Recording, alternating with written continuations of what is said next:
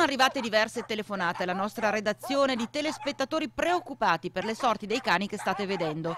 Sono quattro meticci in un'area ben delimitata e circoscritta a ridosso dell'ex conceria Finco a Campese di Bassano.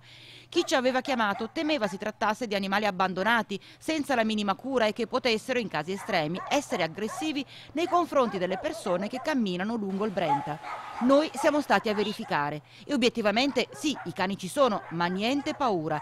Li abbiamo anche accarezzati, inoltre è stato affisso in più punti il cartello che leggiamo assieme.